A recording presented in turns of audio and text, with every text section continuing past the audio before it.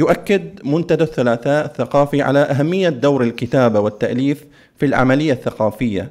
معنا هذا المساء توقيع كتاب إلى الكاتبة الجميلة زينب مؤيد الحائك طالبة في المرحلة المتوسطة بدأت الكتابة منذ السادسة من عمرها تمتلك قدرة على صياغة القصص ولديها خيال خصب وقدرة على الرسم.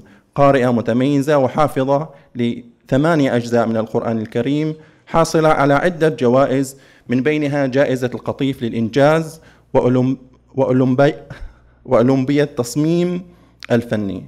إذا نطقت عدل من مؤلفاتها الأقلام الضائعة التسامح نصف قلب أصابعي تتحرك الألعاب المبعثرة أجمل يوم. نرحب بها ونستمع إلى كلمتها. السلام عليكم ورحمة الله وبركاته. ومن هنا بدأت الحكاية.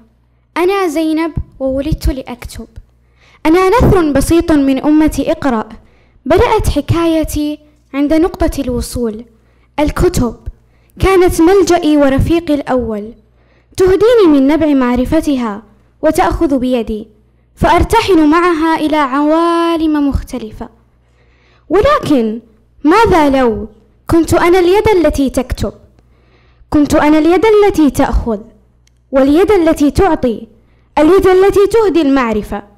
من هنا ولدت وافتتحت وافتتحت عيني على محيطي الأول.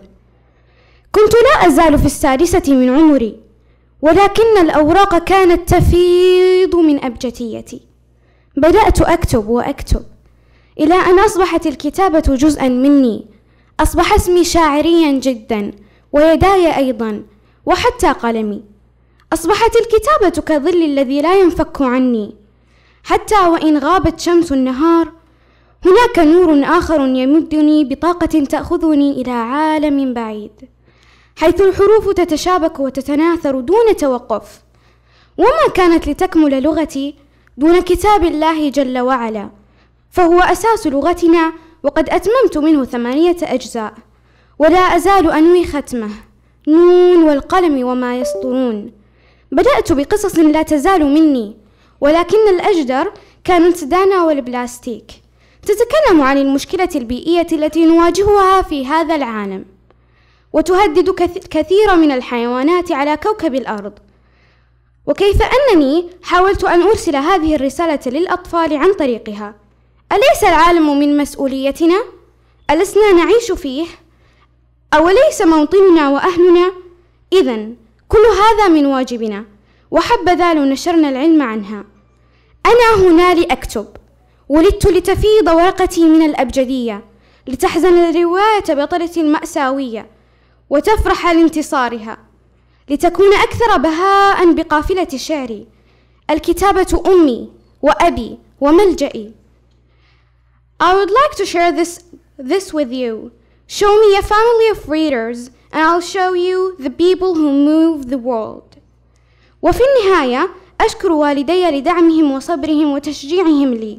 فهم أساس النجاح ومحضن البذرة كما أشكر أسرتي ومدرستي ومعلماتي وكل من دعمني. وداران النشر مكتبة نقش وبسطة حسن. فهم الراعي الأساسي للقصة وبفضلهم ولدت قصة دانا والبلاستيك. لتكون كتابا يقرأ بيد, بيد كل طفل وبيد كل مربي. كما أنه لشرف لي اليوم أن أشكر جميع القائمين على منتدى الثلاثاء الثقافي من قادة وأعضاء لجميل كرمهم وذوقهم الرفيع وتشجيعهم أبناء وبنات الوطن الحبيب.